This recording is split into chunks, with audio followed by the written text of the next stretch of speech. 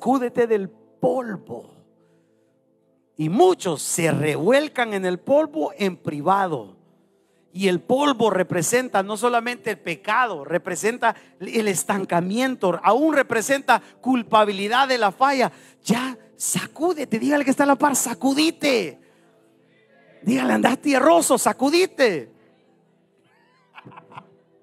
Nadie dijo eso. Pero si hágale así, pues mire, uy,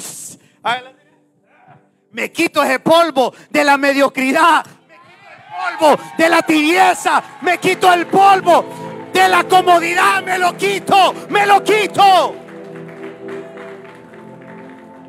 Número cuatro, quítate las cadenas. Mire, hay cadenas que el diablo puede ser que se activan por un pecado, pero hay cadenas, mi hermano, que usted mismo se las zampa. Ahí yo ya no puedo hacer nada. Es que yo, sé que yo lo voy a convertir al Señor.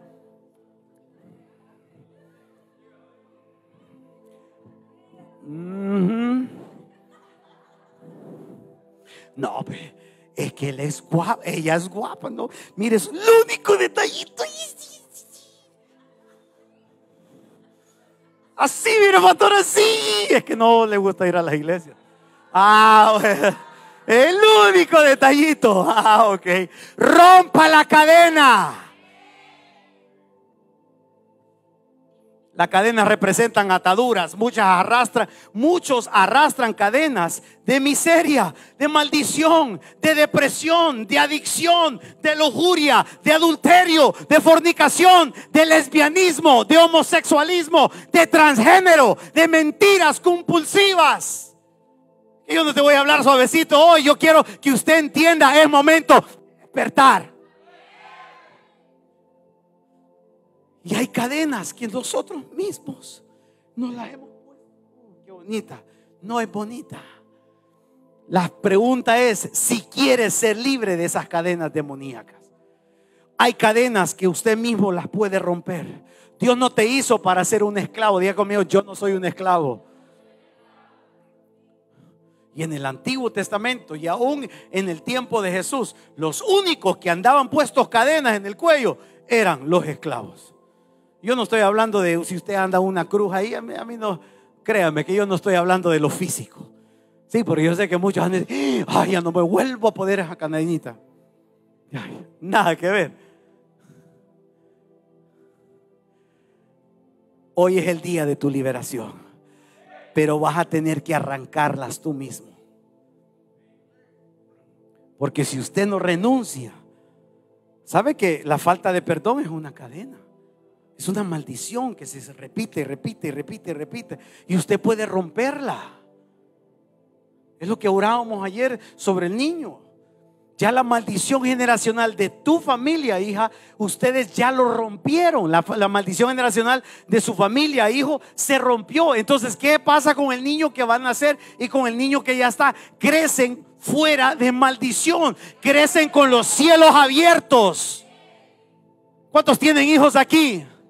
Padre de familia, rompa esa maldición generacional, rompa esa cadena usted hoy para que sus hijos crezcan en bendiciones generacionales. Y número 5, siéntate en el trono. Efesios 2, 5 al 6 dice, aún estando nosotros muertos en pecados, nos dio vida juntamente con Cristo. Por gracia sois salvos. Y juntamente con Él nos resucitó. Y asimismo nos hizo sentar en lugares celestiales con Cristo Jesús.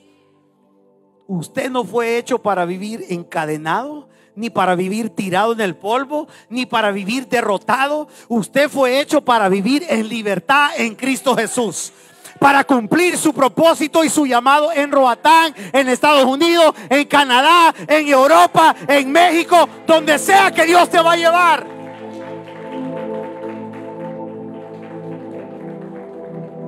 Dígale que está a la par, Dios te está llamando. Lugares celestiales, dice ahí. Un lugar celestial significa influencia.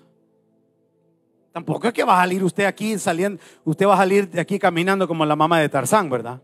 Creyéndose la gran cosa. Humildad, por favor.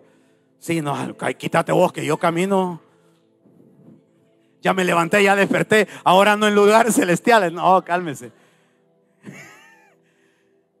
Dios te está llamando para que te sientes con Él en lugares de influencia. En otras palabras, autoridad y poder, honor e influencia. Cristo no nos sacó de lo más vil para que sigamos siendo vil. Te sacó de lo vil para que saques a otro de lo vil. iglesia tenemos que despertar. Porque nuestra isla hermosa se está muriendo.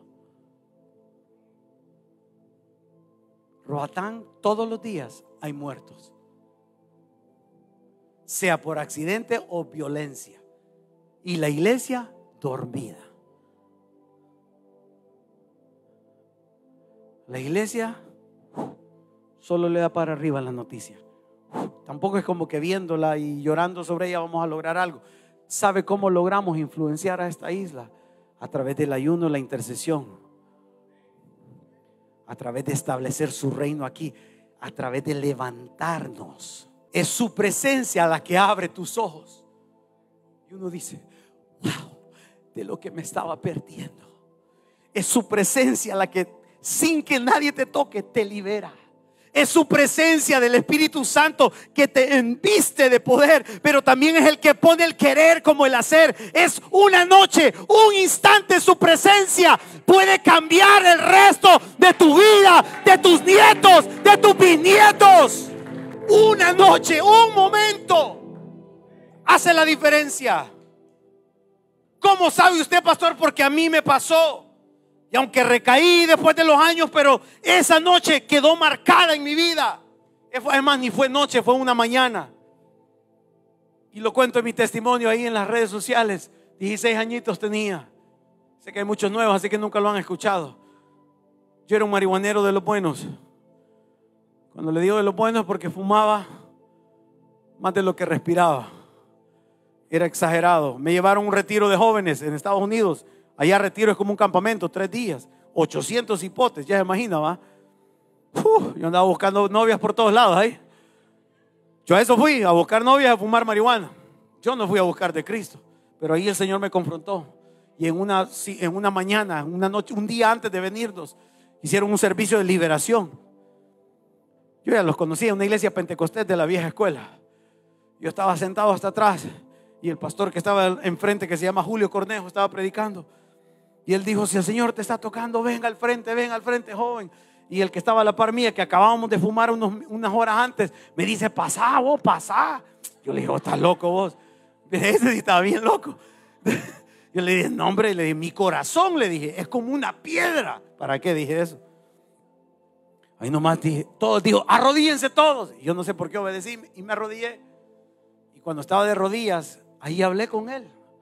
A mí me andaban buscando para matarme en el barrio de donde yo pertenecía. Yo de rodillas me fui al retiro para escapar unos días y para que no me agarraran. Entonces yo de rodillas le dije, Señor, si eres real. Mire, esas son las oraciones de reto que Dios, gloria a Dios, que uno en su ignorancia lo hace y Dios nos perdona. Pero yo le dije, si tú eres real y si me vas a cambiar, este es el momento. Porque yo no quiero nada. Solo terminé de decir eso y fue como que alguien le hizo así mi corazón. Y empecé a llorar, a llorar y a llorar. Yo decía, ¿por qué estoy llorando?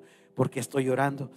Ese momento fue un 27, 28 de noviembre de 1998 a las 10 y 30 de la mañana.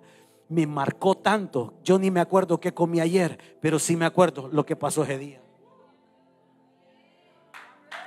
¿Por qué? Porque un instante en su presencia te libera, te sana, te transforma. Un instante te levanta, te despierta, rompe las cadenas.